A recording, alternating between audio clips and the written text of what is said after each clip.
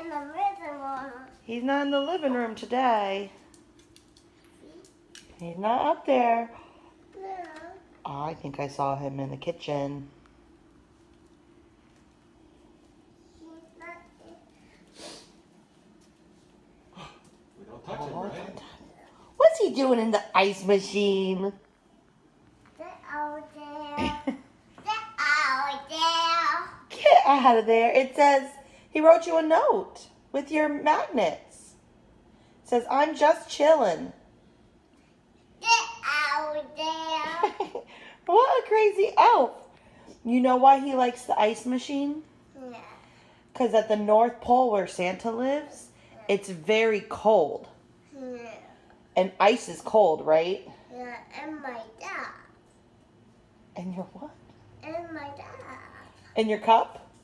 Oh yeah, I cold ice goes in your cup with your water. No. Silly elf. Should we put him back on the shelf? Yeah. So silly.